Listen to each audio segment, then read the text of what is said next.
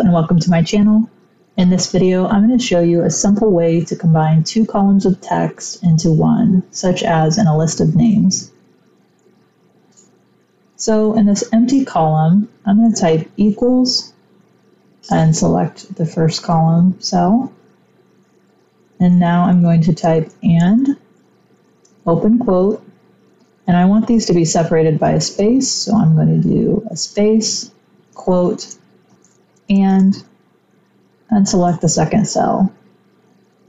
If you want to include a comma or any other character or symbol in between the quotation, that will just add it between the names or the data. And now we can drag the handle to the very bottom. I hope this video helps with your project. If it did, please like the video so others can find it and subscribe for more content like this.